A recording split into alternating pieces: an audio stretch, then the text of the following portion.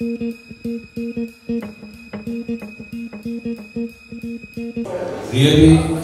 Kulturschaffende, liebe Gäste, im Namen der Kulturkommission Zürich-Oberland begrüße ich Sie ganz herzlich zur Podiumsdiskussion mit dem Titel Wie vielfältig ist unsere Kultur?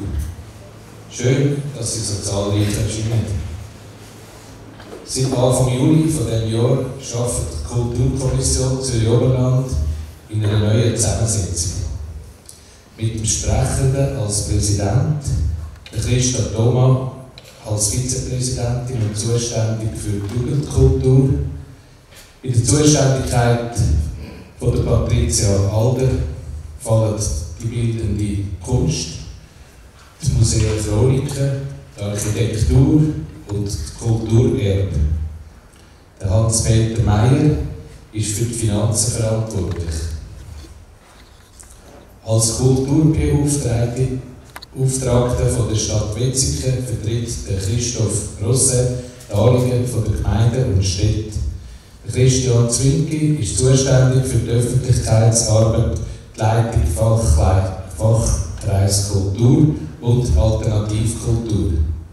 Wir suchen noch, und da möchte ich Sie jetzt darauf aufmerksam machen, dass Sie spitzen. Wir suchen als Mitglied aus dem Kreis der schaffenden Kultur. Bitte melden Sie sich bei irgendjemandem vom Vorstand, vor allem bei der Miriam Wüttrich.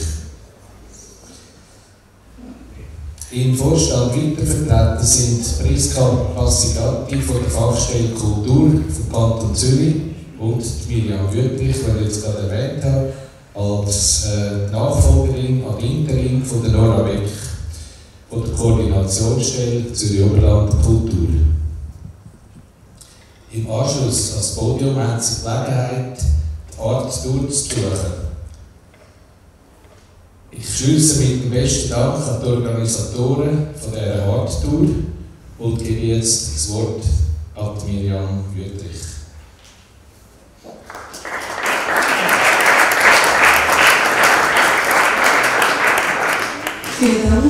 Deschima für die einleitenden Worte. Auch ich begrüße Sie im Namen von Zürich Oberland Kultur ganz herzlich zum heutigen Kulturpodium. Ich erkläre gerne noch etwas Kurzes zur Zürich Oberland Kultur. Zürich Oberland Kultur umfasst einen Kernkreis, der Sie hier grau markiert sind. Ebenfalls bei Zürich Oberland Kultur sind assoziierte Gemeinden, wo sie rundherum sind. Das geht über Lindenau, Bichelsee, Walterschweiz, Turbetal, Wilhelmsee, Wangenbüttisee. All diese Gemeinden, oder beziehungsweise ich muss anders anfangen, die grauen Gemeinden profitieren von der Kulturförderung in, in der Region Zürich-Oberland. Die weiteren Gemeinden sind beteiligt bei Projekten, sei das Industrielandschaft, Kulturweg, oder auch Archive und Museen. Wieso sind wir auf das Thema von der Vielfalt gekommen? Wir sehen hier Fördergesuche von 2017 und wir sehen die gesprochenen Gelder von 2017. Wir sehen auch, wie die Förderung ist von den einzelnen Sparten. Ich habe die Sparten nicht aufgeführt. Dort wenig zur Sache. Man könnte sagen, ein grosser Teil oder der grosse Anteil in die Musik und die anderen Bereiche Theater, bildende Kunst wir haben da sehr Teile. Die gleiche, das gleiche Bild haben wir auch für 2018, wo wir aber noch nicht die Zahl haben, wie die letzten Vertreter im Dezember gesprochen werden.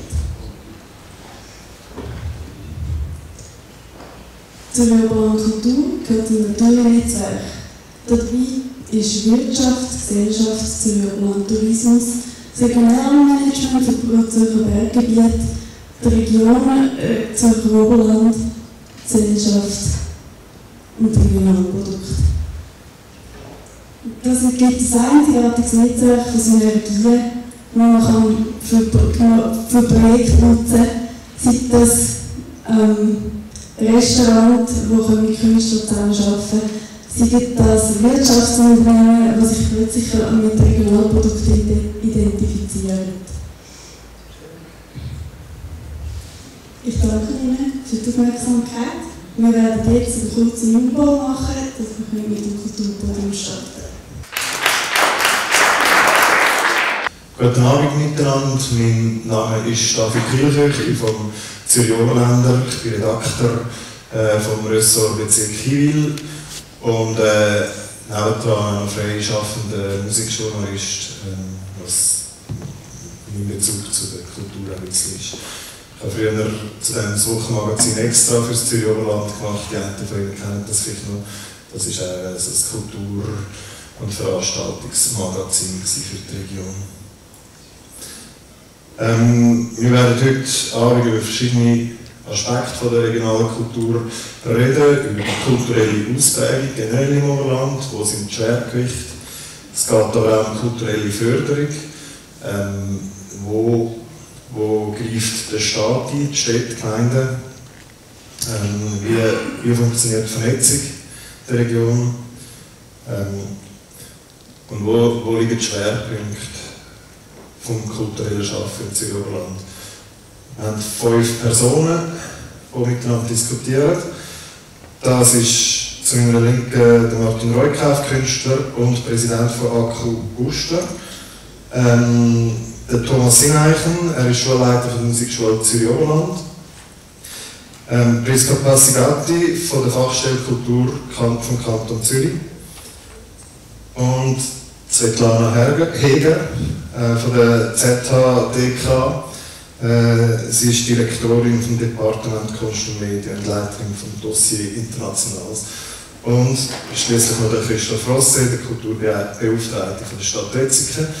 Äh, die fünf Personen können jetzt rasch äh, kurz das Fenster um sich selber noch vorstellen, damit sie ein bisschen besseren Einblick bekommen, was das für Leute sind, die, jetzt gerade zuhören. Also, es hat jeder ungefähr ein Zeitfenster von einer Minute. Sie haben versprochen, Sie werden sowieso nicht so viel über sich sagen. ja, guten Abend miteinander. Ich bin Martin Reukauf. Ich bin äh, einerseits bildender Künstler, ich bin Maler, ich äh, arbeite in Uster, also bin in Uster aufgewachsen, lebe aber in Zürich, das heisst, ich bin Uster und Zürich, ich bin beides. Ich bin ähm, Präsident vom Verein Künstleratelier Uster, AKU. Das ist ein Artist in Residence Programm, das heißt Leute aus der ganzen Welt können sich bei uns bewerben und können jeweils für ein halbes Jahr bei uns äh, arbeiten und bei uns ausstellen. Ich habe das, nein, das Jahr habe ich auch eine große Ausstellung in Uster organisiert mit Jan Sterwinski zusammen. Er macht jetzt auch wieder Tour da mit und äh, von dem her auch ein bisschen Erfahrung mit Ausstellungen organisieren. Ich bin Thomas Sineichen, wie gesagt, ich bin Schulleiter der Musikschule Zürcher Oberland und ich bin äh, waschechter Zürcher Oberländer, weil ich bin auch aufgewachsen und arbeite da in Wetzikon selber. Ich bin aber nicht nur Schulleiter, nur in Anführungszeichen, sondern ich bin auch Kulturschaffender, ich bin Giger, Musiker, Posaunist und äh, Leiter Orchester und, äh, und so weiter und so fort. Und ja, meine Berührungspunkte sind natürlich vielfältiger Art, also einerseits auch mit der Jugendförderung und andererseits natürlich auch also eigentlich sehr vielfältiges, äh, vielfältiges Wirken. Guten Abend miteinander. Ich sage, mein Name ist Priska Passivati. Ich fange an mit Bezug zum Zürich Oberland. Meine Großmutter ist von Bärenzwil, habe ich irgendwann herausgefunden, das habe ich gar nicht gewusst. Ähm, habe dann den Weg über Winterthur auf Luzern genommen und dann wieder zurück auf Zürich.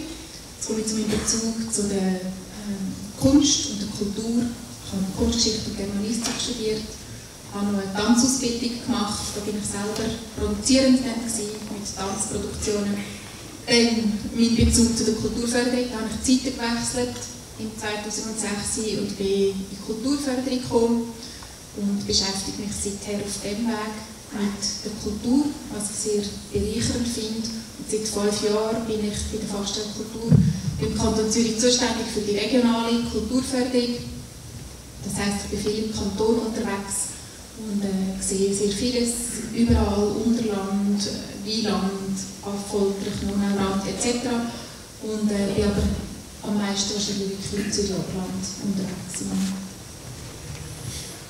Ähm, mein Name ist Selana Heger und ich bin die einzige Nicht-Schweizerin an diesem Tisch und trage so wie die bunten Stühle auch zu der Vielfalt dieser Runde hoffentlich. Ähm, ich bin als bildende Künstlerin tätig, habe aber viel in der Schweiz ausgestellt und lebe seit eineinhalb Jahren in Zürich, äh, wo ich auch die Aufgabe übernommen habe, die ähm, Departementsleitung für Kunst und Medien an der ZHDK zu führen.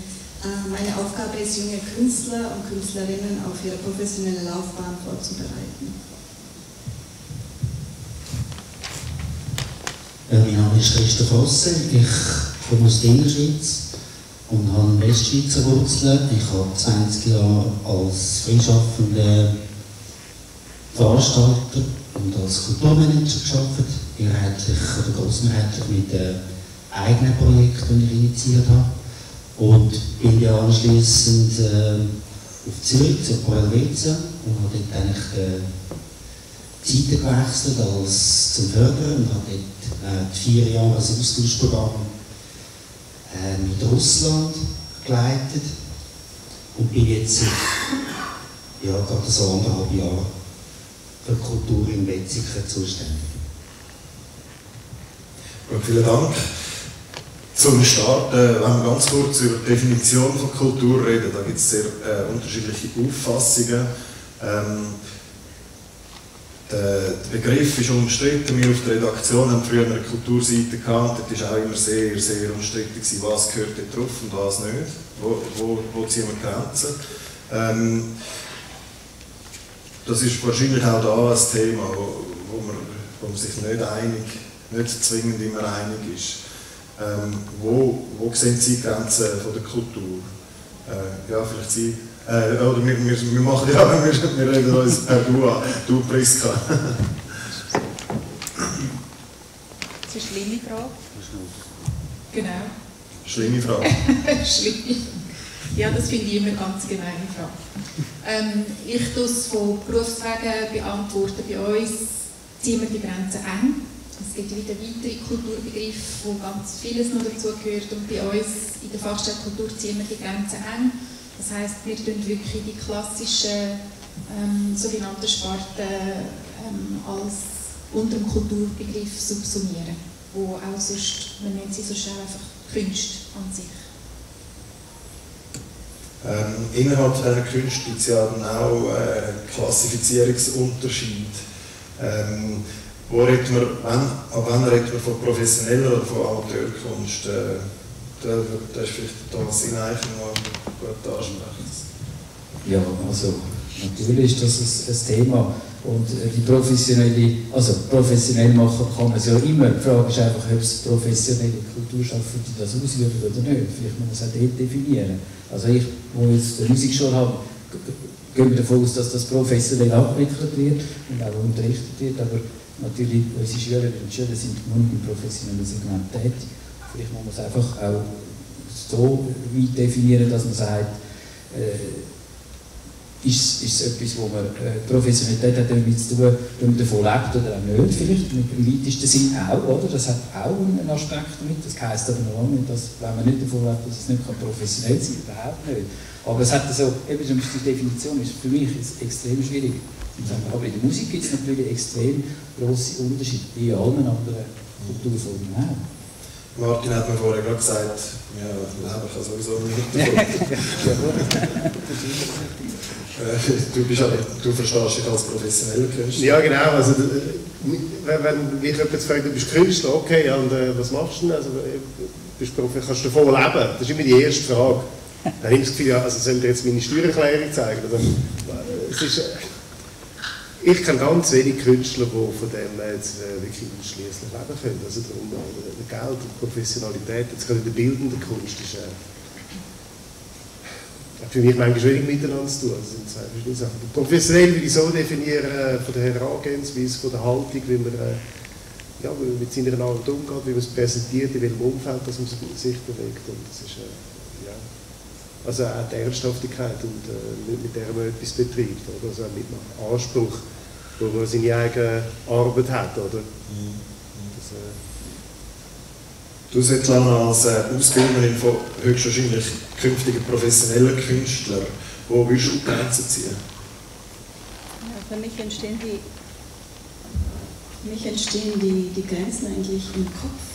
Also ich sage auch immer den Studierenden, für euch gibt es eigentlich im Denken keine Grenzen, aber eben das Verständnis dann von, vom Publikum auch, wie, wie die Kunst aufgefasst wird, da entstehen die Grenzen. Und äh, da bin ich auch nicht ausgeschlossen, weil ich bin zum Beispiel Expertin in der bildenden Kunst, aber wenn ich dann zum Beispiel zu zeitgenössischer Musik gehe oder zu zeitgenössischer Literatur, dann habe ich manchmal auch irgendwie gewisse äh, äh, Vorbehalte oder Vorurteile und die muss man natürlich versuchen auch abzubauen in, in allen anderen Sparten. Und äh, was das Professionelle betrifft, das ist ja auch oft die Frage, die die Studierenden haben, vielleicht nicht im ersten Jahr, da sind die ja noch in, mit der Arbeit am meisten beschäftigt, aber im zweiten, dritten Jahr fangen dann diese Fragen, wie verdiene ich eigentlich dann äh, mein Geld mit der Kunst und äh, man muss ihnen auch in eine realistische äh, ähm, Darlegung irgendwie vorleben. Also eben, was, was du gesagt hast, ähm, die Karriere kann sich ganz unterschiedlich entwickeln, aber heutzutage gibt es auch viele unterschiedliche Möglichkeiten, wie man sich eben als Künstlerin, Künstler ähm, einsetzen kann, welche Möglichkeiten man in, in Anspruch nehmen kann, äh, seien es verschiedene Förderungstöpfe oder seien es eben auch Galerien, seien es, sei es der Kunstmarkt, der natürlich nicht für alle da ist, aber ähm, ich möchte auch noch sagen, also Kultur ähm, sichert ja auch irgendwie die, die, demokratischen Werte eines Landes und ähm, wenn man sich zum Beispiel Länder wie Saudi-Arabien anschaut, die, die, geben ja so viel Geld für Kultur und Kunst im Moment aus. Also da werden äh, Riesenmuseen gebaut, auch mit namenhaften Architekten aus der westlichen Welt. Aber es ist trotzdem keine Demokratie. Also man kann sich Demokratie nicht mit, nur mit Geld kaufen, äh, indem man Kultur einkauft. Also die muss vorgelebt werden, die muss gelebt werden. Es ist eine Haltung. Genau. Christoph, du hast jetzt seit anderthalb Jahren ein beobachten, wie das im Oberland so stattfindet. Äh, ist das eine lebendige Szene? Kulturszene? Ja, also es ist für mich jetzt ein bisschen schwierig, die Antwort aufs Oberland Du bist natürlich für die fokussiert. Ich habe mich jetzt natürlich zuerst mal vor allem vor Ort äh, sehr fest umgeschaut und recherchiert und, und die verbotenen Schätze gehoben, die es in Wetzikon auch gibt, die bis andere nicht sichtbar sind. Aber ich würde schon sagen, es ist halt schon, äh, vieles ist nicht, nicht, nicht auf, Anhieb gesehen. Und vielleicht kann ich auch noch ein bisschen anknüpfen an die letzte Frage, wegen dem Kulturbegriff und wegen der Förderlinie, die zieht man natürlich vielleicht im Kanton enger oder auf Bundesebene noch enger als in einer Gemeinde, wo Wetzikon oder über das Oberland. Da ist auch sehr wichtig, dass, dass äh, das Kulturleben einen Beitrag zum Zusammenleben, zum Gemeinsinn, Gemeinsinn äh, etwas beiträgt.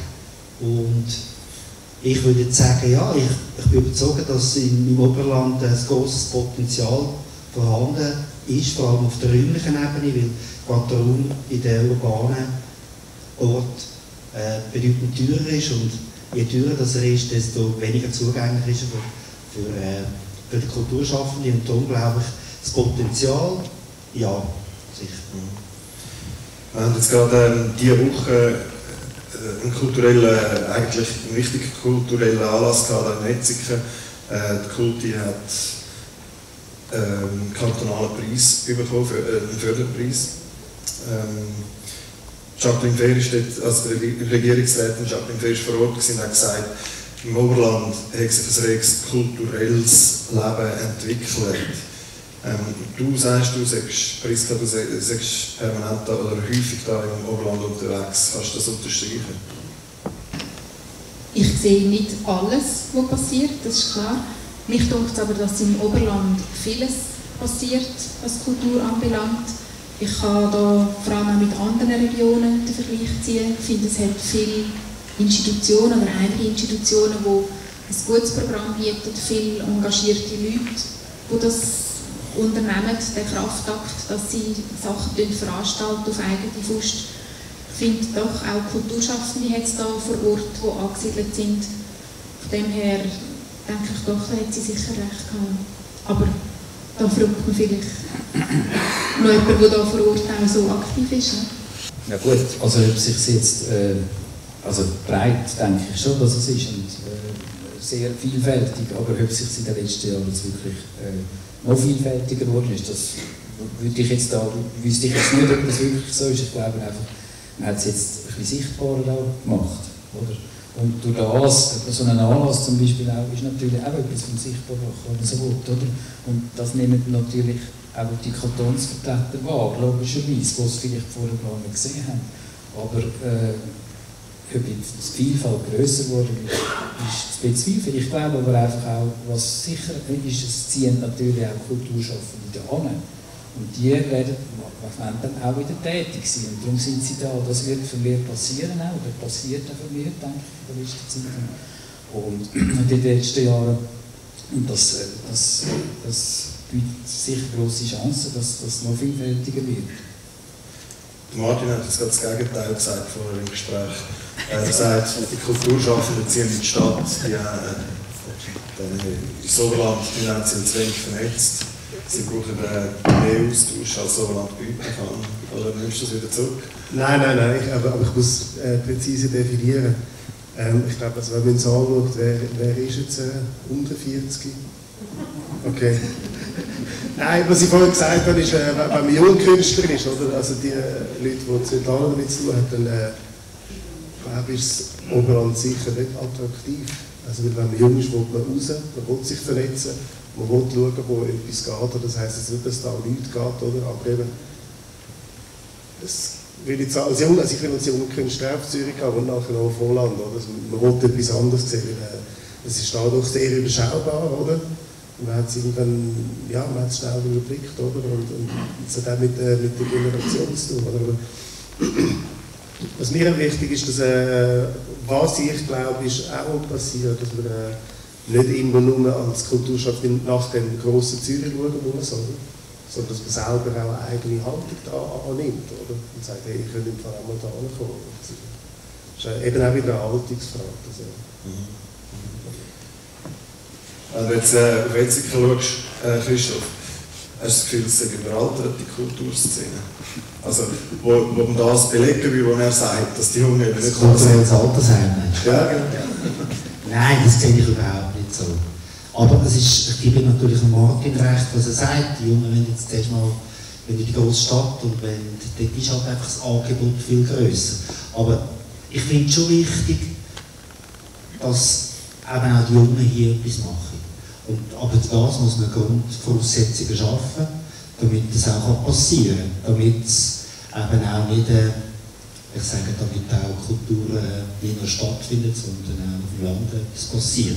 Und das in einer Vielfalt einzubringen, wie das in der Stadt ist, das, das mag ich jetzt bezweifeln, aber man kann die Vielfalt sicher ausdehnen.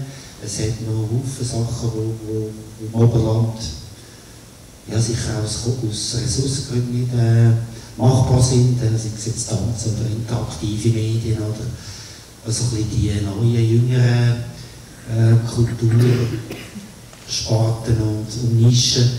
Äh, aber zum Zurückkommen, ja, ich finde es ganz wichtig, dass die Oberländer ein bisschen neugieriger sind, ein bisschen selbstbewusster und sich das auch äh, das wagen, hier etwas zu machen, damit äh, äh, auch mal Leute reinkommen. Das finde ich sehr wichtig.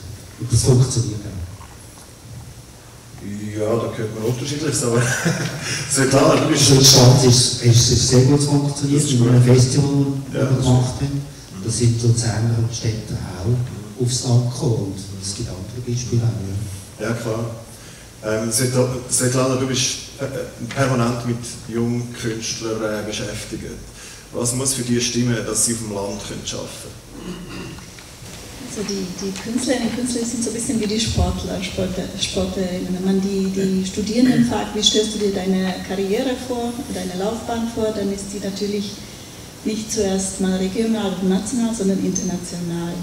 Andererseits gibt es sehr viele Studierende, die immer wieder jetzt auch mit Neuen kommen, wie zum Beispiel die Nachhaltigkeit ist ein Riesenthema, über die viel diskutiert wird und wir versuchen zum Beispiel an der ZHLK jetzt auch ein Programm äh, zu kreieren, wo wir noch Partner suchen, ähm, wo man eben regional auch arbeiten kann, wo es eben um die ökonomischen, äh, die ökologischen, aber eben auch die sozialen äh, Nachhaltigkeiten geht. Und das ist schon irgendwie etwas, was die jungen Leute auch beschäftigt.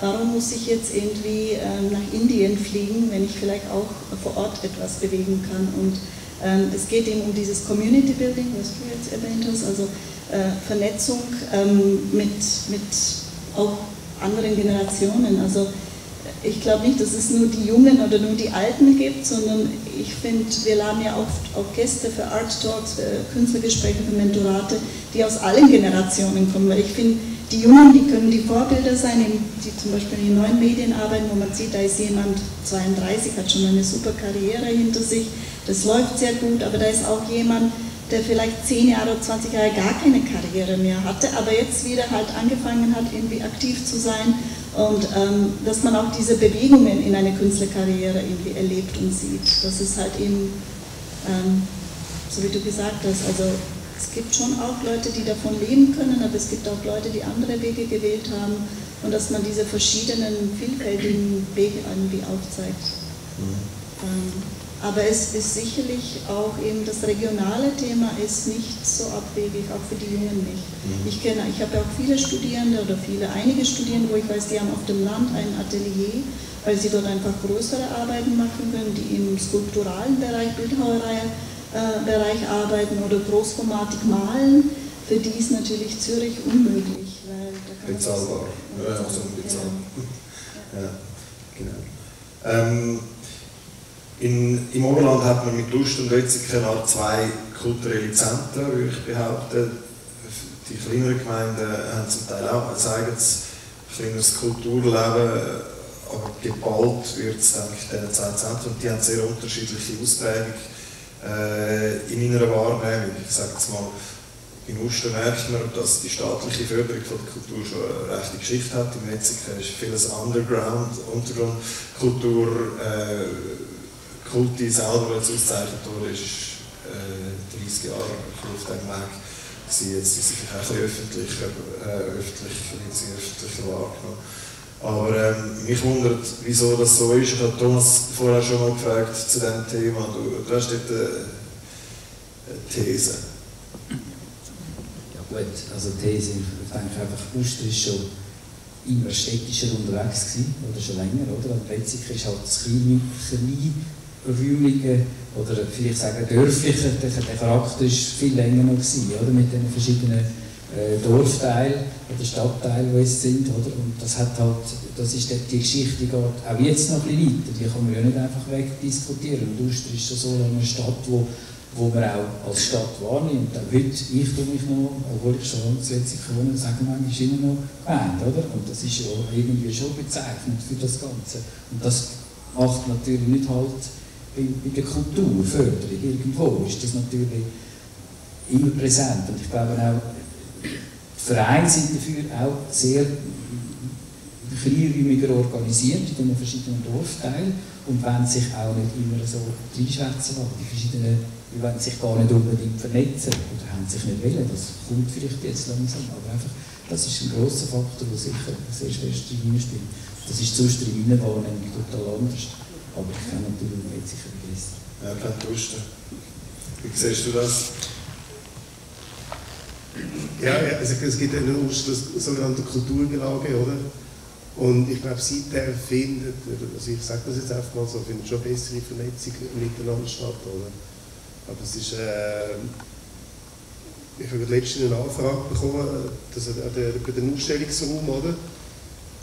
Und wo die Künstler zeigen, habe ich, äh, habe ich ein paar Vorschläge gemacht. Und dann habe ich gesagt, soll ich jetzt mal da die Art durchkommen. Da gibt es ganz viele regionale Künstler. Und dann hat es geheißen, ja, sie hätten eben gerne über jemanden aus Uster, oder? Und dann habe ich gesagt, sie sollten jetzt einfach mal über den Tellerrand rausschauen. Und das hat sie dann sehr dankend angenommen, oder? Das, das, das eröffnet einem ganz neue Horizont, oder? Dass man auch etwas, dass man über die Stadtgrenzen rausschaut, oder? Also man hat eine Art äh, Uster wird als städtische Kultur wahrgenommen, dann kommt Aargau und dann ist es Landkultur. Könnte, könnte das sein? Ich glaube eben überhaupt nicht dran. Also, also ich glaube, ich, ich viel, für mich gibt es viel wichtigere Kriterien. Und zwar äh, begebe ich mich zwar auf dünnes Eis, aber äh, es um Qualität geht. Oder? Dann ist es irgendwann egal, wo das die Kultur stattfindet. Oder? Wenn sie gut ist, dann kann sie auch ein Seegräben sein. Oder? Das ist, äh, finde ich, jetzt viel, viel ein wichtiges Kriterium. Oder? Das ist, äh, Aber du, du kommst vielleicht ein mit über, äh, aus der Perspektive von der Gesamtsicht. Ähm, Gibt es ein Gefälle zwischen Stadt- und Landkultur? In der Köpfe vielleicht auch? Ähm, ich habe jetzt gerade gedacht, ich habe mich an eine Diskussion erinnert, wo du das gesagt hast, ähm, dieses grüne Weiss mit der Qualität. Ich kann mich vielleicht auf das beziehen. Also viele haben wie, ähm, wo wir angefangen haben, verstärkt uns der Region zu widmen, der Kulturförderung. Jetzt weiss ich, ja, da müssen wir vielleicht andere Kriterien definieren, müssen wir, müssen wir schauen, wie kann man... Also nein, nein, die gilt genau gleich. Also Qualität ist das oberste Kriterium und das, das gilt eben, ob es im Usterseegräben, Andelfingen irgendwo ist, weil das, also, das geht in meinen Augen gar nicht. Das wäre auch eine Einschätzung vom künstlerischen Schaffen in der Region. Meine, da muss man die genau gleichen Maßstäbe ansetzen, das ist für mich klar. Also von dem her, ähm, das Gefälle im Sinne von der Beurteilung, gibt es nicht, weil das wird alles gleich angeschaut. Jetzt muss ich schon fragen, wie wichtig ist der Bezug zu der Region? Also ich habe auch schon von Ausstellern, von Projekten gehört, wo dann ein Beitrag abgelehnt worden ist, weil es geheißen hat, es hat zu wenig Bezug zum Zürich Oberland, oder? Ist, ist das wichtig oder äh, muss, ist das zwingend? Oder? Also das Gesuch, wie der KUKO so behandelt worden ist? Ja, würde ich wissen. Also in der KUKO ist klar, dass ein, ein Bezug mhm. zum Zürich Oberland muss bestehen das ist so. Ähm, jetzt grundsätzlich bei uns in der Fachstelle Kultur interessiert es uns sehr, ob ein Projekt oder äh, irgendein kulturelles Vorhaben nur in der Stadt Zürich stattfindet oder nur in der Stadt Winterthur oder ob es eben auch ein bisschen in die Region rausgeht, wir sind ja für den ganzen Kanton zuständig. Und da ist klar, wenn etwas wie nur zur Aufführung kommt in der Stadt Zürich, dann finden wir so ein bisschen also ist einerseits auch nicht sinnvoll, weil das sind ja alles dann so Eintagesflüge. Man findet es sinnvoll, wenn man ein, ein Kulturprojekt auf Bein stellt, dass das dann eben auch ein bisschen noch tourt, weil sonst macht man zum Beispiel ein Theaterprojekt und hat drei Aufführungen und dann ist es wieder vorbei, das ist schade. Ähm, also von dem her schauen wir sehr darauf, dass es eben auch wirklich ein bisschen in der Region umgeht. Wir sind jetzt eigentlich gerade schon bei den Fördergeldern gelandet, das ist ein interessantes Thema. Ähm, wie wichtig oder sinnvoll ist es überhaupt, wenn der Staat Kultur fördert? Weil wer Geld gibt, fängt je nachdem auch an reinreden. Äh, wie siehst du das, Christoph? Hätte eigentlich lieber zum anderen etwas gesagt, aber ja. jetzt ist deine Frage, äh, eben, wie fest soll der Staat reinreden in der, in der Förderung von ja, Kultur? Ja, das ist unsere Struktur. Also, Kulturförderung in der Schweiz ist so gebaut, oder? vom Bund runter zum Kanton, in die Gemeinde.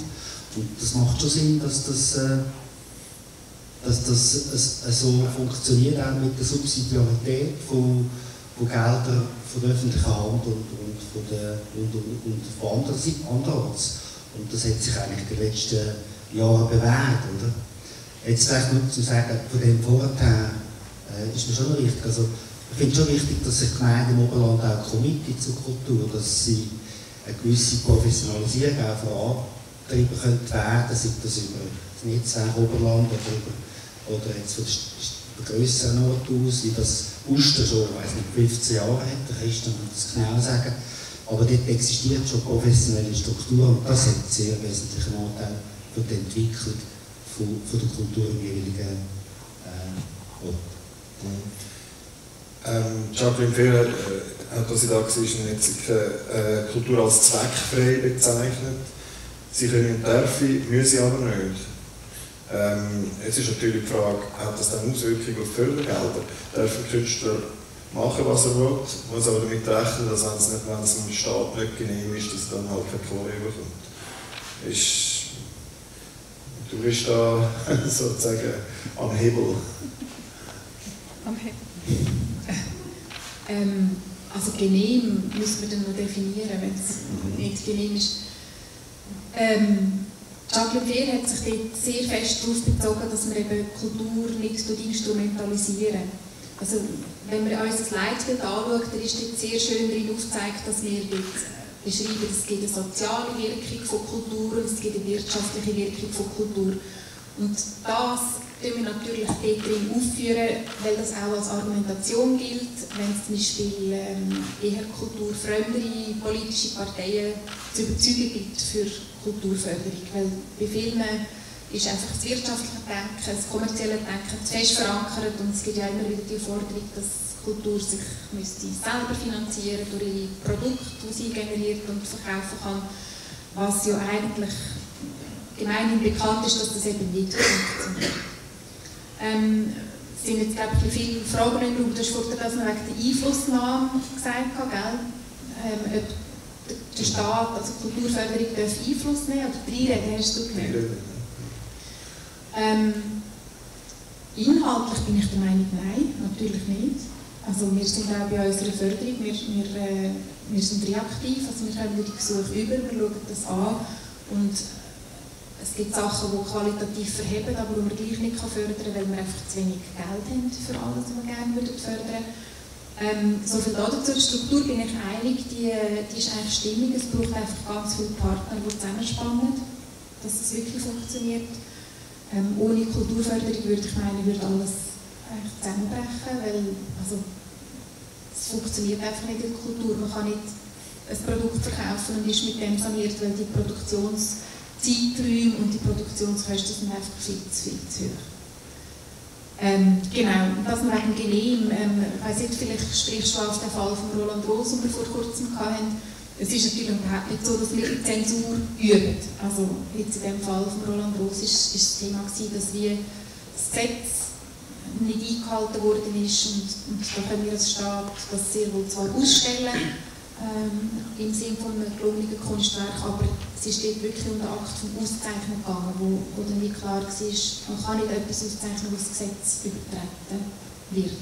Das war dort das Thema. Gewesen. Ähm, aber sonst, also von einer kulturellen oder künstlerischen Zensur sind wir in der Schweiz eigentlich also meilenweit weg. Ähm, die Förderung von Kultur. Man hat das Gefühl, die Musik, die Musik ist als Sparte, als Kultursparte sehr, sehr stark vertreten im Oberland. Die bildende Kunst hingegen äh, hat es schwerer.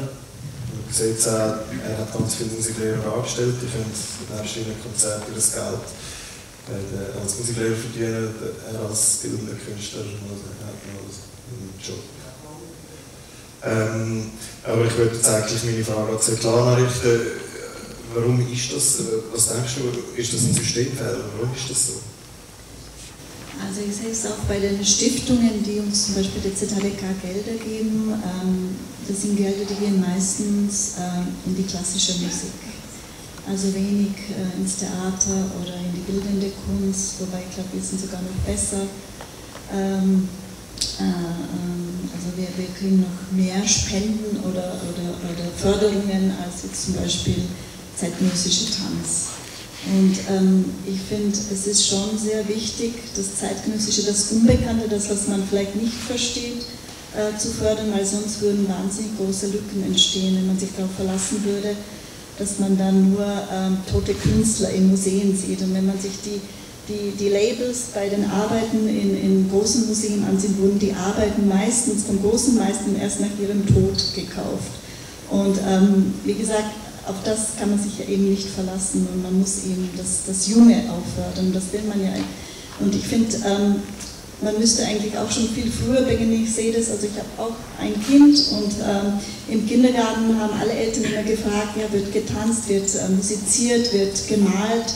Ähm, das hört dann im Schulalter dann irgendwann mal auf. Da fragen dann die Eltern, ja, ist mein Sohn gut in Physik und Mathe und Deutsch? Aber nicht mehr Kunst und äh, äh, Musik wird plötzlich nicht mehr so relevant. Musik vielleicht noch eher, da schickt man die Kinder dann in die Musikschule am Anfang, aber äh, Kunstschulen gibt es eigentlich keine. Und für die Kinder, die sich vielleicht ähm, die ein Talent haben oder die sich für diese Sparte interessieren, gibt es eigentlich sehr wenig Angebote. Und ich finde, da fängt diese Lücke schon an. Ja. Und das sehen wir dann auch bei den Bewerberinnen und Bewerbern. Ähm, für die Musik melden sich viel, viel mehr Leute natürlich als für die bildende Kunst oder für den zeitgenössischen Tanz. Oder? Thomas Sineichen, äh, das ist gerade in Retzigen vor ein paar Jahren ein großes Thema gewesen, dass eigentlich die schulische Musikförderung, jetzt spezifisch Musik halt, äh, jetzt eben gekürzt oder das ganz gestrichen, ich bin mir ganz sicher, was es ist. Wir haben euch zusammengerottet und das verhindert. Ähm, Braucht es so etwas äh, auch in den anderen Kunstsparten, um etwas zu erreichen? Wie schätzt du das ein? Ja, sicher. Also, eben, zusammen miteinander äh, für das Kämpfen ist sicher ein wichtiger Faktor. Ich möchte jetzt einfach noch schnell etwas sagen zu der Musik allgemein. Warum ist auch die Musik wahrscheinlich sehr verankert bei uns? Ich meine, jeder Anlass fängt halt mit Musik an. Irgendwie am Anfang und am Schluss. Das kann man so schön als Rahmen brauchen. Klar kann man auch das Bild stellen oder so, aber es ist irgendwie etwas, was Emotionen weckt, halt über einen anderen Sinn und über das Gehör und so. Und darum hat das sicher aus dem Grund auch einen sehr hohen Stellenwert. Das ist, alle hören Musik, das ist einfach so, also fast schon nie. Ich habe nie, nie, Musik los, aber du musst schon in der S-Bahn, ob das jetzt gut ist oder schlecht ist, eine andere Frage, aber es ist omnipräsent. Oder?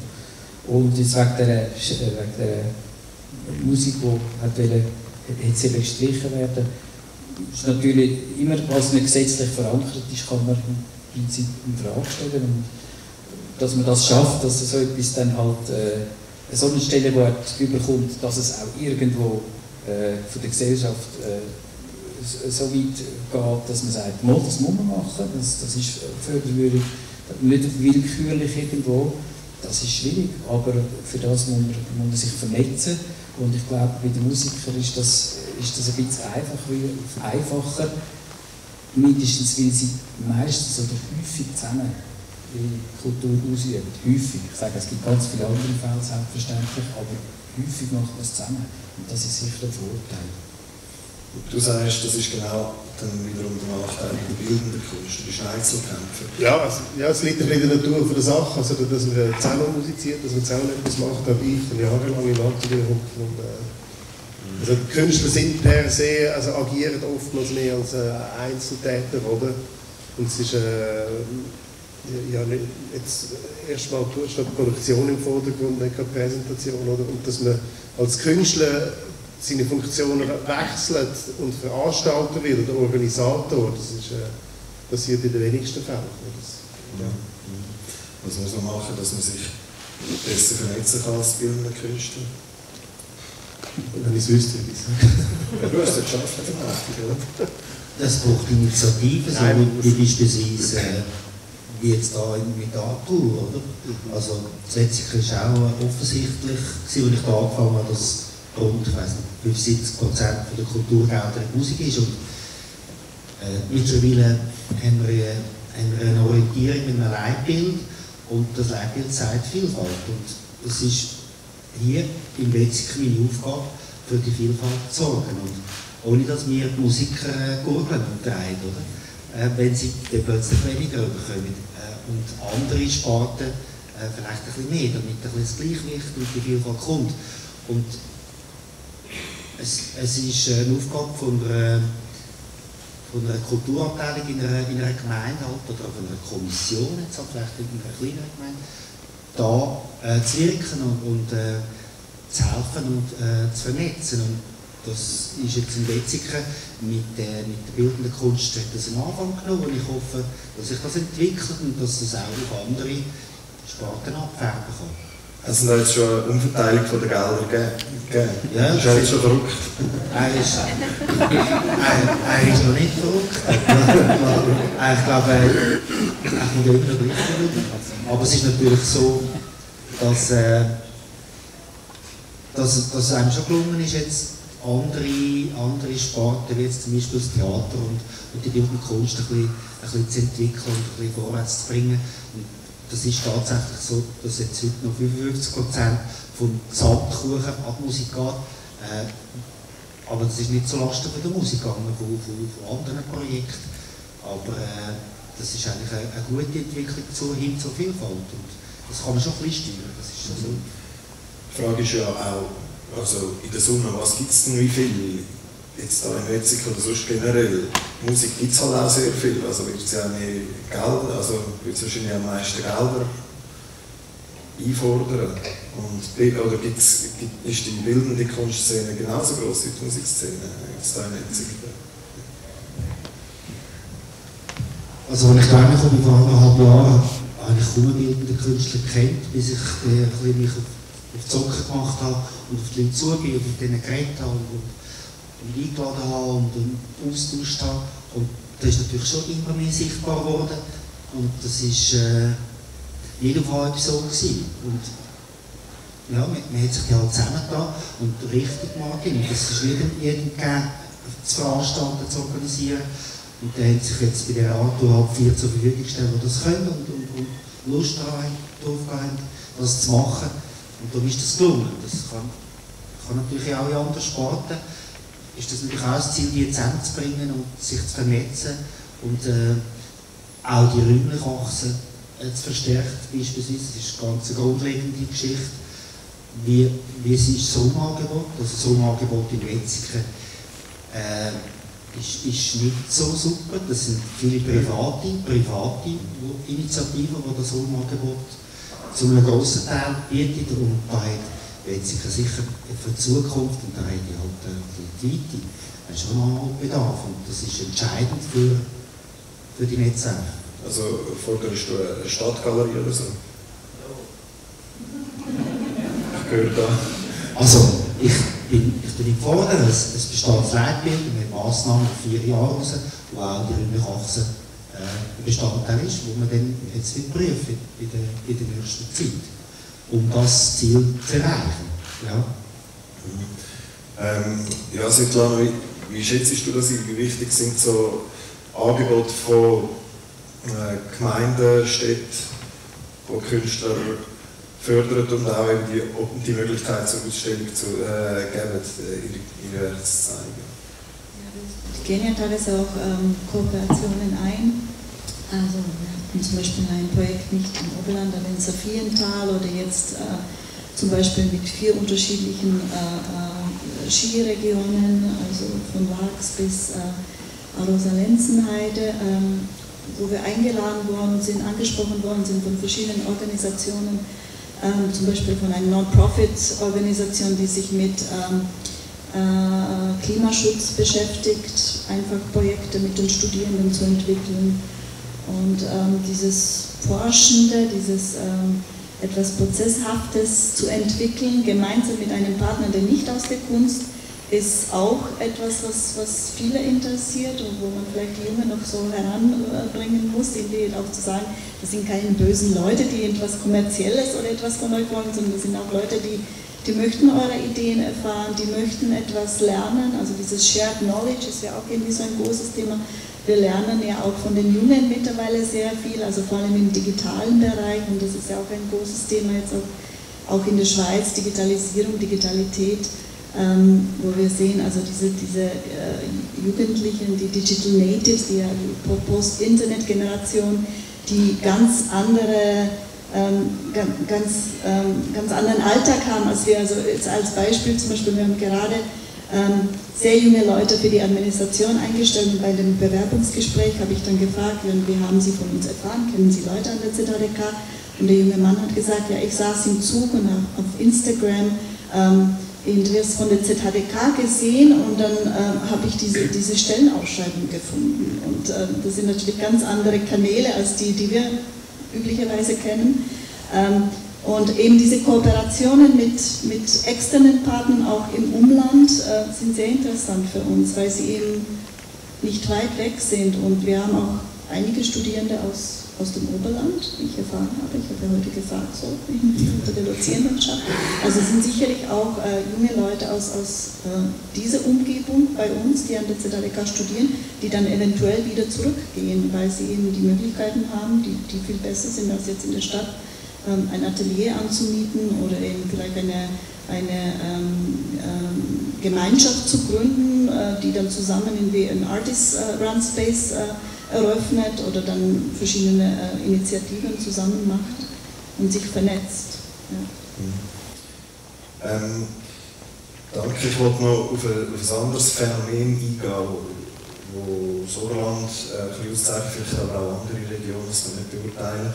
Ähm, man hat in vielen, auch kleinen Gemeinden, kleine Kulturkommissionen, die ihr eigenes Ding machen.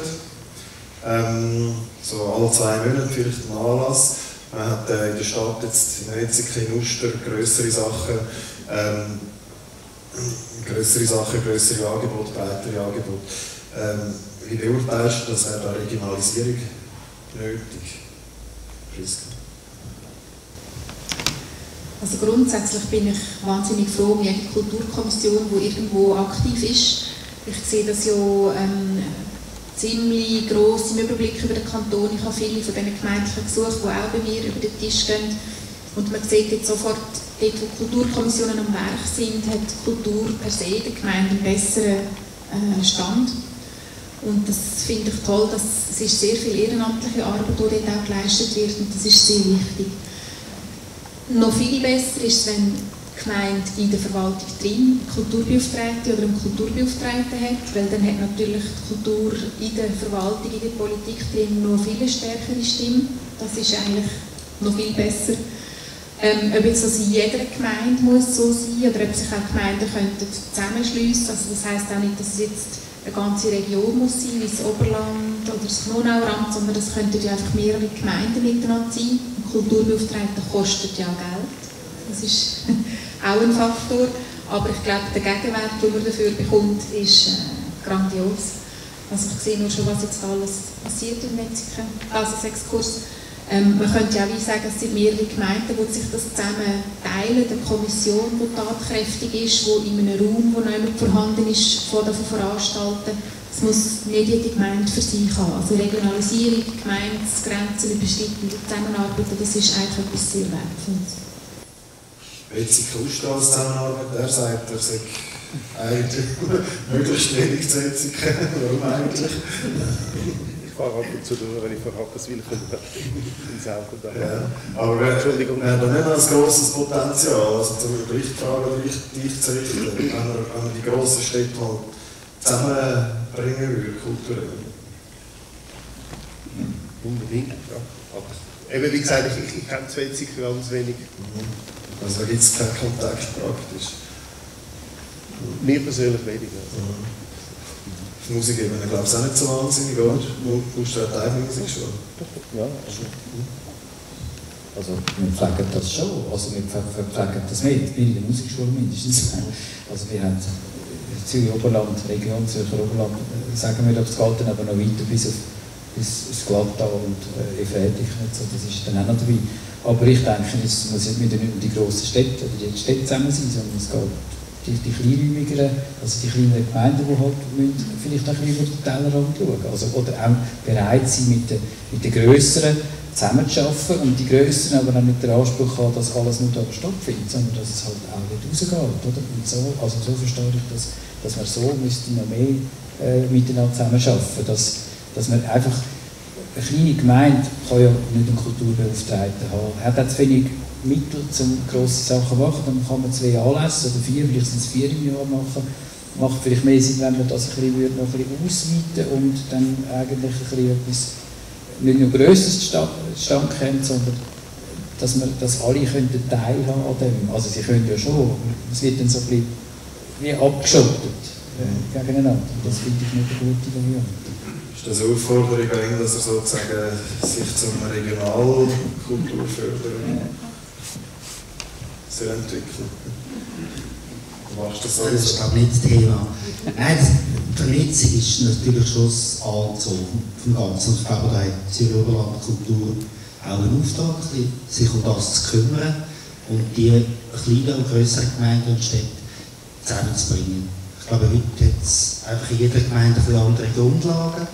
Aber wenn man die Vielfalt verbessern und Attraktivität der Kultur im Oberland stärken, dann müssen wir im Oberland da zusammenheben und, und eben auch im infrastrukturellen Bereich, im räumlichen Bereich, unter Umständen auch so mit, mit gewissen Kompetenzzentren, das ist ein blödes Wort, aber sagen wir glaube ich so, äh, sich zusammenschließen und, und etwas schaffen, wo, wo, wo eine einzelne Gemeinde im Alleingang nicht, nicht in der Lage ist. Und in, in den zukünftigen Überlegungen von Räumen und von Anlässe und Projekte muss man sich, finde ich, ist es gut, wenn man das im Hinterkopf hat und daran denkt.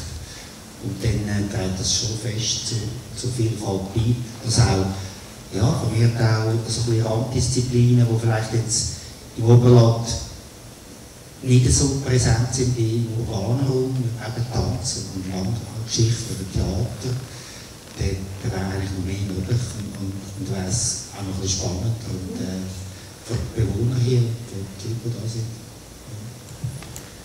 Ich möchte an dieser Stelle ähm, die offene Diskussion da abbrechen und noch Möglichkeit zu Fragen geben. Ähm, Miriam Wüther, ich würde sonst mit dem Mikrofon rumlaufen, wenn Sie Fragen haben, bitte Sie.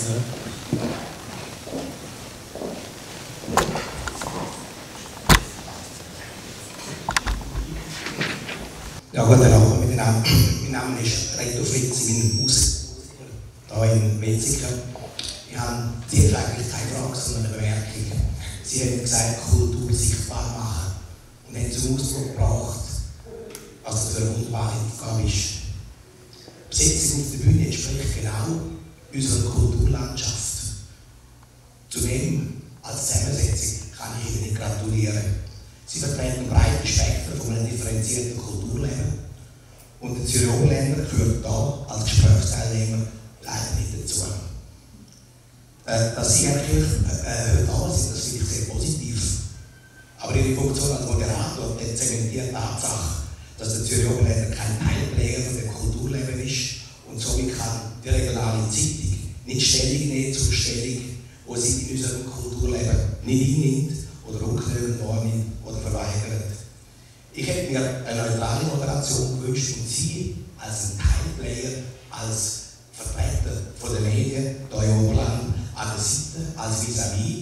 und vielleicht Dass Sie alle sich um Kultur verdient machen und den Respekt vor ihrer Arbeit verdienen, ist für mich außer Frage.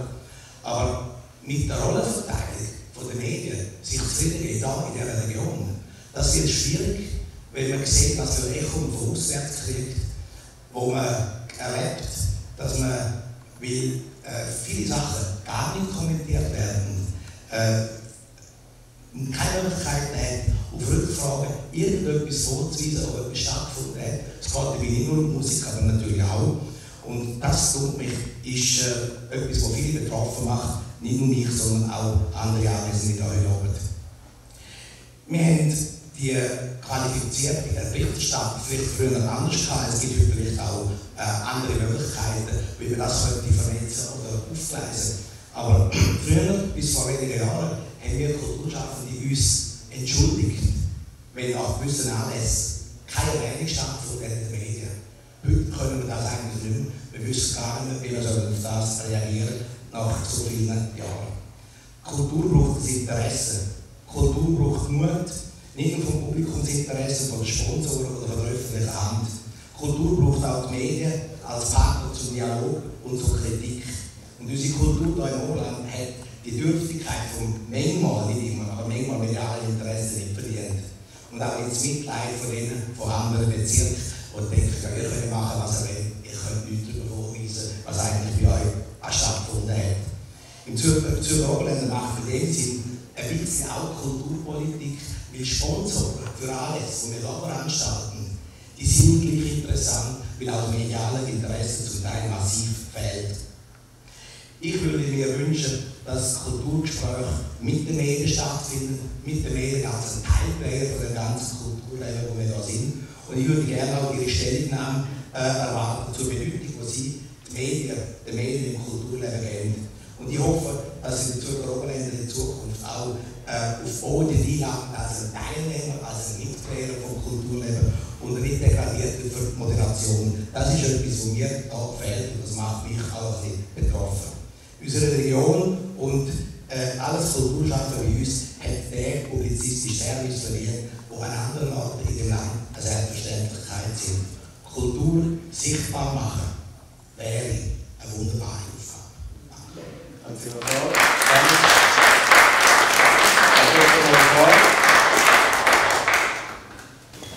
Es wäre eher als Fragerunde Runde gemeint, ich nehme es gerne entgegen, aber ich bin nicht zuständig für das Kulturkonzept von Zürich Oberländer. Darum kann ich auch keine Stellung nehmen. Ich heiße Angelika Salbo, ich habe vor mehr als 15 Jahren einen Kulturverein gegründet.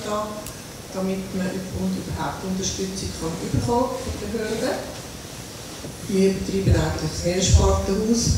Und mir ist eben eine grosse Frage, ich bin sehr Lütziken, ich bin auch schon eine alte Frau. Und der Unterschied zwischen eben einem schaffenden Künstler, wie das Maler und Bildhauer sind, oder auch Musiker, die auftreten, und der Veranstalter, das ist eine ganz wesentliche Sache. Und das wird einfach immer in einen Topf geschmissen. Die, die veranstalten, das sind nicht Künstler, das sind Organisatoren. Aber die bringen die Leute auf die Bühne. Und das ist ein Punkt, der einfach meiner Meinung nach zu wenig berücksichtigt wird, dass da einfach grosse Unterschiede bestehen. Ich gebe gerne noch eine Rückmeldung dazu. Da haben Sie recht, wir haben jetzt heute Abend vor allem von der Kulturschaffenden geredet, das ist klar. Aber die Unterscheidung wird natürlich schon gemacht. Also wir in der Fachstelle haben verschiedene Kategorien von Beiträgen. Wir haben zum Beispiel Betriebsbeiträge, die genau an Veranstaltende gehen und Projekt- oder Produktionsbeiträge, die Kulturschaffende gehen. Also der, ich nehme an, das ist, bei euch ähnlich, oder? Ihr habt auch Leistungskontrakte, oder? Ja. Also von dem her wird auf das sicher geschaut. Bei uns ist es sogar so, dass wir sagen, so viel Budget ist für Betriebsbeiträge und so viel Budget ist für Kulturproduktion an sich. Äh, mein Name ist Charlie Bühler, ich arbeite schon einige Jahre, also etwa 40 Jahre als Künstler, lebe von dem. Und äh, meine Frage, was mir auffällt, das äh, ist bei mir auch deckungsgleich mit den Medien. Sie sind recht äh, abwesend, aber äh, ich denke, wenn man kein Inserat kann machen heute, ganz grosse, oder auch der Veranstalter, Veranstalter das nicht kann, dann wird halt einfach nicht geschrieben. Das, ist, äh, das läuft meistens so. Ich frage mich, da haben wir jetzt gerade ein Beispiel von uns, Arthur, und wir würden jetzt mal unternehmen, was die kantonale Förderung da hat können beitragen bei dem Anlass. Ist da überhaupt etwas so oder nicht? Das wäre mal etwas ganz konkret, was ich dann von Ihnen würde hören Das kann ich auch gerne beantworten. Der Kanton hat 20'000 Franken an die Veranstaltung gesprochen. Ja, mein Name ist Margarita Bühler. Ich bin zwar Partnerin, aber ich sage ganz etwas anderes. Wir kommen vom Döstal. Und ich habe jetzt in der Zeitung gelesen, dass zum Beispiel der Kulturverein Miele aufgelöst wird, weil sich niemand mehr melden kann. All die freiwillige Arbeit, die also in der Landschaft, wir reden jetzt immer nur von Uster und Wetzigen, aber da gibt es Döstal mit ganz vielen Leuten, die ganz viele Sachen machen. Aber das ist so viel freiwillige Arbeit, dass man nicht einmal mehr Leute findet, die sich zur Verfügung stellen. Das merken ihr vielleicht gar nicht in Gremien über. Und das hat mich sehr betroffen gemacht, muss ich sagen. Doch, das merken wir natürlich sehr fest, dass eben das ehrenamtliche Arbeiten bei der jüngeren Generation überhaupt nicht mehr hoch im Kurs steht. Man ist eigentlich nicht mehr bereit, gratis zu arbeiten. Und das spüren wir, wenn sich eben zum Beispiel Kommissionen auflösen oder wenn vor allem bei den Veranstaltenden plötzlich niemand da ist, der gratis arbeiten will. Das ist auch der Grund, warum wir wie versucht haben, in den letzten fünf Jahren Betriebsbeiträge an kleinere Veranstalter ähm, zu sprechen, weil wir genau gemerkt haben, dass es gibt dort ein existenzielles Problem, wenn die Leute nicht mehr gratis ähm, in dem Ehrenamt sich engagieren sondern wenn die, die nachrücken, plötzlich müssen entlöhnt werden. Das ist für viele Veranstalter ein grosses Problem. Das sehen wir genau so.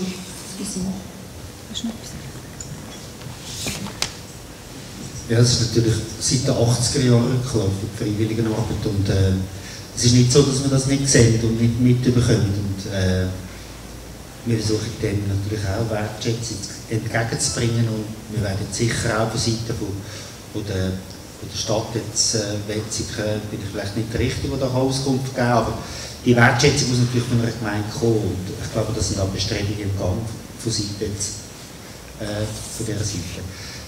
Ich möchte nur noch kurz etwas zu den Medien sagen. Also, ich finde es auch sehr wichtig, dass Kultur äh, im Oberland äh, eine höhere Stellenwert hat in den Medien. Und ich glaube, da müssen wir uns auch wieder irgendwo hier erarbeiten und für den kämpfen.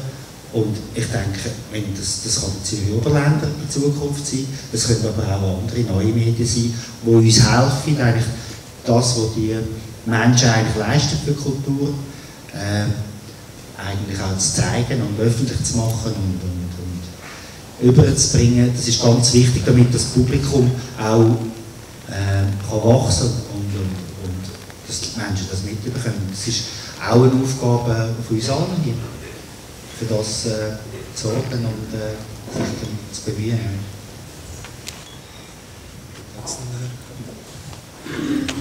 Ja, zuerst mal danke an dich.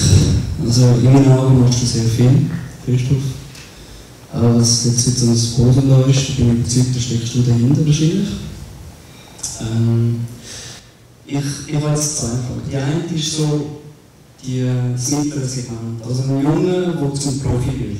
Wenn er nicht der ZHDK angeht, der eigentlich professionell zur Verfügung zur, zur Seite steht, einer, der eher so hobbymäßig das verfolgt, so wahrscheinlich die meisten da. Ähm, und dann der Übergang zum Profi wird und dann so als solches erkannt wird. Und der Übergang habe ich manchmal das Gefühl, dass der Junge, also ich auch nicht an früher, ich habe keine Ahnung, ich kann an die Stelle so wenden.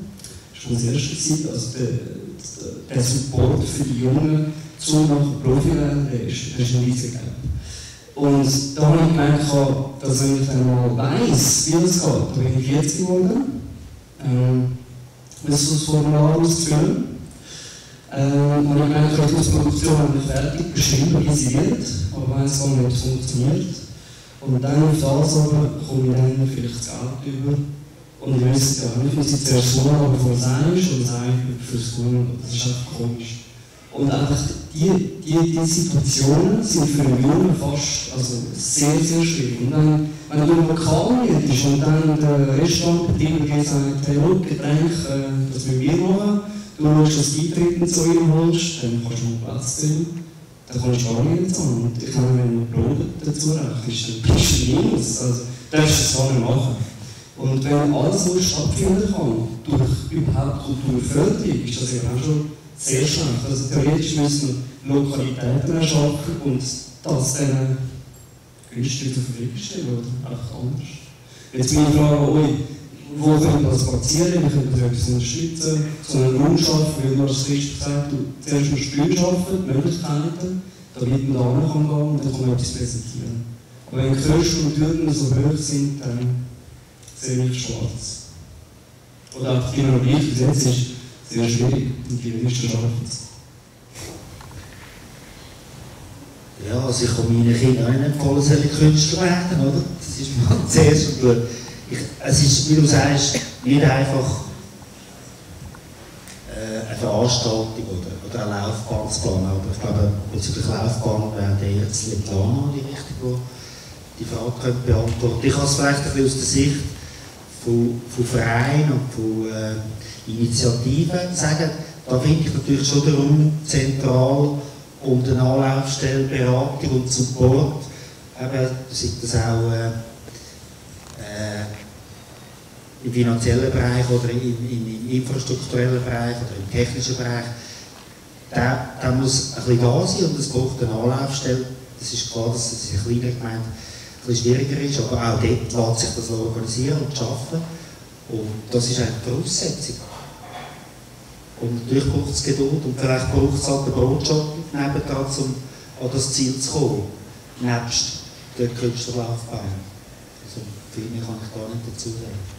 Ähm, solche Initiativen sind schlussendlich möglich. Man kann in einen Kuhstall einen Tanzboden reinziehen oder in einem größeren Kommunalgebäude oder in einem Industrieraum oder so, aber das braucht immer wahnsinnig viel Vernetzung, wahnsinnig viel Aufwand und wahnsinnig viele Initiativen und das ist vielfach schwierig. Und dazu komme ich, dass wenn so Initiativen, gerade kleine Gemeinden sind, die relativ ein kleines Kulturbudget haben, ähm, wenn junge Leute, die eine Initiative haben, eine Idee haben, die vielleicht nicht so groß ist, ähm, zu der Gemeinde geht, kommt man da entweder bei jemandem vom Amt oder mit der Gemeinderätin oder mit der Kulturkommission an. Und dort heisst es meistens ja, wir haben zu wenig Budget, wir, haben, ähm, wir machen unsere eigenen Projekte, als Kulturkommission die selber veranstalten. Ähm, und dann hat der Kanton die Subsidiarität, dass sie ja dass ich vom Kanton, wenn jemand für das Projekt etwas überkommt, der Kanton das natürlich Betrag auch mit unterstützt. Wenn man aber das Geld der Gemeinde gar nicht überkommt, ähm, ist das noch schwierig. Und das Wissen, das haben ganz wenige, also ich gebe das immer wieder weiter an Leute, die so Initiativen haben. Und da von der Gemeinde her, von der Kulturkommission her, wird das selten informiert.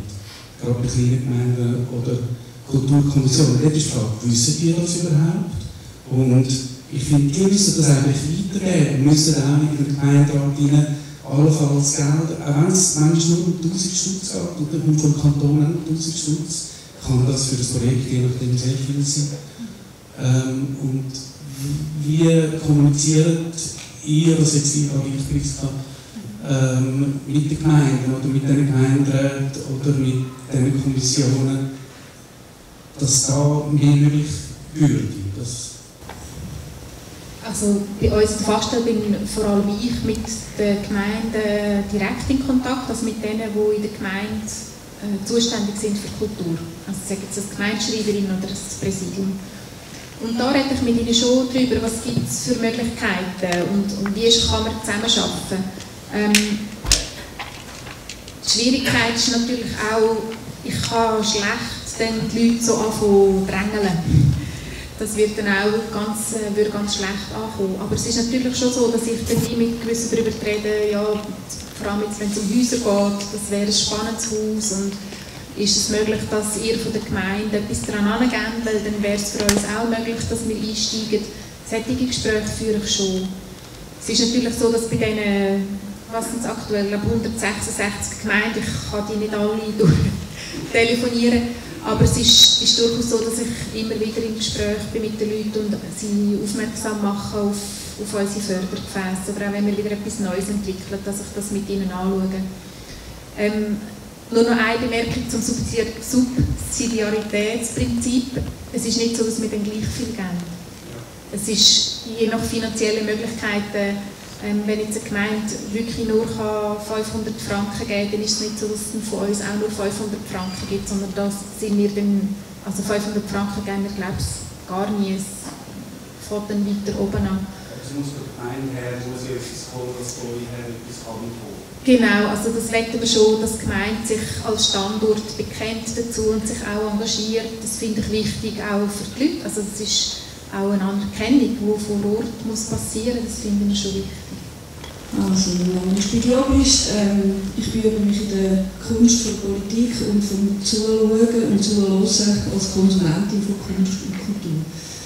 Ähm, ich würde etwas sagen zu der freiwilligen Arbeit und zwar glaube ich einfach auch, dass das ähm, ein, ein Ergebnis ist von einer Politik oder von einer Gesellschaftspolitik, die sich Neoliberalismus nennt, wo äh, eigene Wohl ähm, halt sehr hoch eingeschätzt wird, äh, wo auch die Solidarität verloren gegangen ist. Wir reden von Skiinvaliden, Skiasylanten, Ski, da, da, da. Und äh, das ist ein Teil davon. Man kann nicht erwarten, dass dann freiwillige Arbeit einfach gleich weiter funktioniert, wenn man sonst die Gesellschaft gerne umbaut. Ähm, das andere, was ich ist der Marco Lotz, habe ich unterdessen mitbekommen. Also Räume, Platz, äh, Wetzige Bahnhofstrasse ist strotzt von leeren Räumen. Also es wäre auch mal eine Möglichkeit, dass die Politik sich da auch ähm, engagieren und, und versuchen, die Räume halt wie auch immer reinzunehmen und weiterzugeben, etwas zu machen mit dem Raum, der vorhanden ist. Raum hat es ohne Ende, er wird einfach nicht gebraucht. Und vielleicht müssen wir da mit unseren neoliberalen äh, Ladenbesitzer und, und Immobilienbesitzer halt vielleicht auch anfangen, so reden, dass sie verstehen, was es braucht. Und das Dritte ist, und das wäre eine Frage, ist, ähm, Jacqueline Fair hat es auch gesagt, ähm, politisch, ähm, Kulturgelder und so weiter, da steht einiges an. Man ist in einer Abbauphase, man will eigentlich abbauen. Im Moment hat man eine Zwischenlösung mit dem Lotteriefonds. Meine Frage ist, wo ist die Zukunft? Wo geht in Zukunft? Also wir reden jetzt von einem Ist-Zustand, der möglicherweise in zehn Jahren gar nicht mehr vorhanden ist. Ähm, genau, Kulturfinanzierung ist im Moment ein grosses Thema bei uns. Ähm, es ist nicht so, dass wir am Abbauen sind, sondern wir sind äh, im Moment plafoniert. Also wir haben bis 2021 einfach die Mittel zugesichert, die wir haben. Und äh, der grosse Schritt war schon, dass wir wie einen, einen grossen Teil von unserem Budget in den Lotteriefonds verschoben haben. Und jetzt geht es ja darum, dass wir ab 2022 die Kulturgelder können weitertragen können. Also wir möchten gerne ähm, die Mittel sichern, die wir haben und natürlich auch entsprechend die Bedürfnisse ausbauen. Wir haben einen Nachholbedarf, also wir spüren das auch jetzt in dieser Phase, wo es plafoniert ist. Es, wir haben eine wahnsinnige Zunahme von Gesuchen bei gleichbleibenden Mitteln. Das ist eine unbequeme Situation. Darum sind wir sehr darum bemüht und auch Pro Kultur unterstützt uns darin, dass wir ab 2022 mehr Mittel zur Verfügung haben, um all diesen Bedürfnissen, die an uns angetragen werden, können, ähm, gerecht werden. Es ist jetzt so, ähm, vom politischen Ablauf her, bis 2021 haben wir die Gelder noch, nachher wissen wir nicht, wie es weitergeht, das ist so. Ähm, Jacqueline Firth zeigt das auch jedes Mal sehr gerne auf. Es ist abhängig natürlich von der Politik. Also Politik, wir sind davon abhängig, mit was für Mittel uns Politik ausstatten gewillt ist. Und das heisst jetzt auch in den nächsten Wahlen im Frühling, die stattfindet, kulturaffine Politikerinnen und Politiker in allen Gremien sind natürlich da eine grosse Unterstützung. Also das ist ein, ein Miteinander in unserer Demokratie, wo wir alle darauf angewiesen sind, dass wir ähm, das Ziel vor Augen haben und das so versuchen umzusetzen. Wir haben jetzt von Subsidiarität geredet. Also wie geht das, wenn ein Künstler oder ein Veranstalter ähm, etwas bekommt von der Stadt und dann Kanton einen Teil, also einen Teilbetrag dem auch gibt? Geht der Betrag an Veranstalter, an Künstler oder geht der an Gemeinde? Also wer hat jetzt in dem Fall das Gesuch gestellt, das Sie hier schildern? Ja. Also wenn der Veranstalter das Gesuch stellt, dann geht der Beitrag an den Veranstalter. Danke vielmals, das ist nämlich jetzt nicht der Fall. Also beim Kanton oder ja. welchen Fall meinen Sie? Wir sind ein Kulturveranstalter, der sehr verankert ist hier in Münziken. Wir haben jahrelang sind von der Stadt unterstützt worden, wir haben uns für das auch bedankt, wir haben uns auch darum entwickeln. Wir haben dann immer vom Kanton auch noch einen Teil bekommen und der ist uns jetzt in den letzten zwei Jahren abgesprochen worden. Der, der, um die Unterstützung vom Kanton, die geht an die Gemeinde, an die Stadt, damit die Stadt uns unterstützen kann. So werden das gehandhabt. So ist das uns mitgeteilt worden. Und ich tue jetzt als da in aller Öffentlichkeit die Frage stellen, weil ich möchte, dass das alle hören, wie das jetzt wirklich ist. Es geht nicht nur um unseren Verein, es geht mir um das Prinzip. Wie ist das? Ich glaube, ich weiß, was für ein Förderinstrument Sie ansprechen. Sie meinen nicht ähm, Betriebsbeitrag und Projektförderung, sondern Sie meinen Kulturprogramm Gemeinden, wo es so ist, dass dann aber die Gemeinde bei uns einreicht und wir der Gemeinde einen Beitrag geben wo die Gemeinde kann so ihren Beitrag den Veranstaltenden oder Projekten ähm, so sprechen. Ich glaube, Sie meinen so einen Fall. Das ist möglich und dann ist das aber eigentlich ein Gutdünken von der Gemeinde überlassen, ob man das überkommt oder nicht. Nein, nein. Doch. Man könnte das sonst gerne nachher noch bilateral klären, wahrscheinlich. Aber ja. ich glaube, da liegt jetzt Das Gesuch ist, glaube ich, vom, Kulturplatz an Kanton ja. gegangen. Ja. Das ist schon so. Gewesen. Noch eine Frage würde ich vorschlagen. Genau, ich Frage. Ich bin aus dem Eisbereich, wo wir dort angetreten haben, wo wir Vertreter. Ich bin aber auch Veranstalter. Künstler sicher nicht so, dass ich Qualitätsansprüche würde erfüllen, was ich gesagt habe. Zwei Fragen.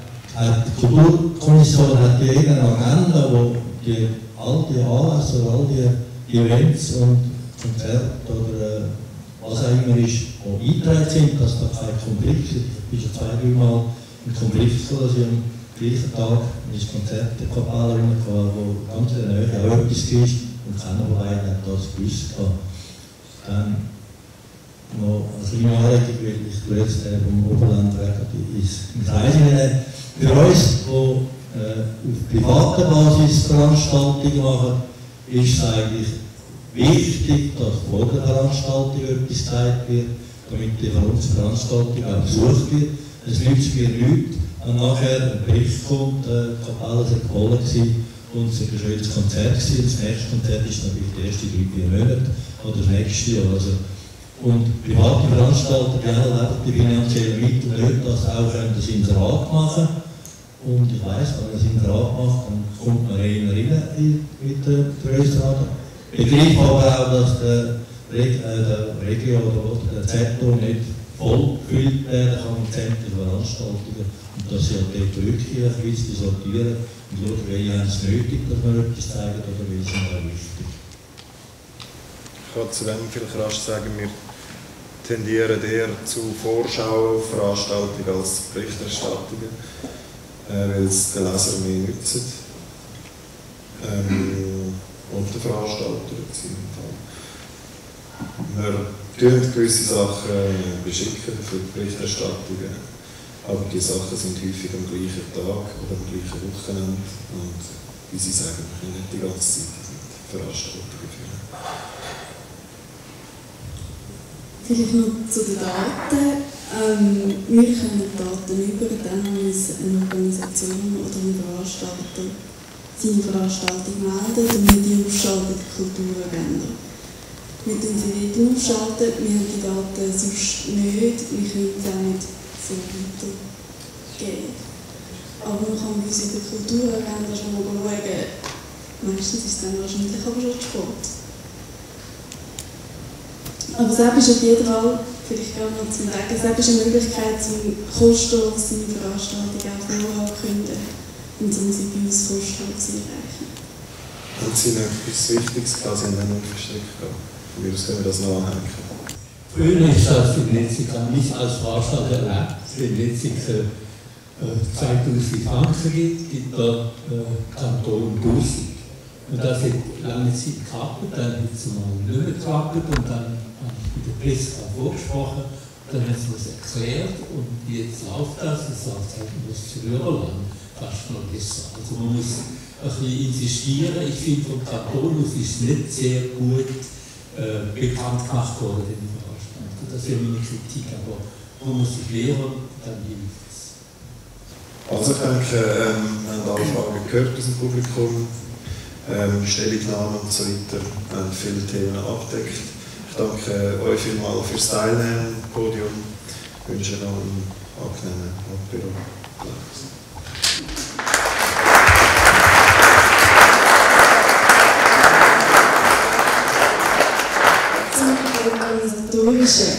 Um halb acht legen wir los mit Führung durch Arthur. Wir werden uns dann aufteilen. Zuerst noch ganz, ganz herzlichen Dank der Stadt Wetzikon, die fleissig mitgeholfen hat für die Organisation Jahres. Und ganz herzlichen Dank an alle Teilnehmer vom Podium und auch dem David Kirchhoff für die Moderation.